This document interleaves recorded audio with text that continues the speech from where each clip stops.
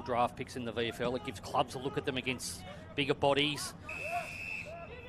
Gets the players acclimatised to a higher standard of football.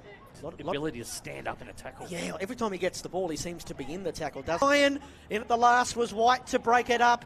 Carlton now take their turn going through the middle. Turnies hemmed in by Archie Stevens. Well done, Sam Davidson. Back to Langford. In towards Samson Ryan. Mirkov did enough with the spoil. They've got into the centre bounce here. Ryan with Sonsie. uh, He does well. Does a big fella for Carlton Mur- across this game. Young with the thumping kick in. This time comes to the wing. A towering mark held on to. Well done, Mirkov. Mark Ramshaw. Long to fall forward. Mirkov is there. He's got it. And the Tigers, frankly, just didn't have anyone tall enough to deal with it.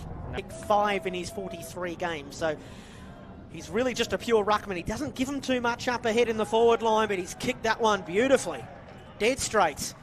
And Carlton stay in contact here. That Mirkov goal brings the margin back to 19 points. Carlton are going to have to come from behind and win if it is to be so. Morris George and then back to Sonsie on the back foot, kicks poorly up the line. Mirkov was there and marks. And they've lost their poise as well as Yeah. losing the momentum here as he gets called to play on here. Oh, that's a rugby kick, but it'll t- pay off in the end.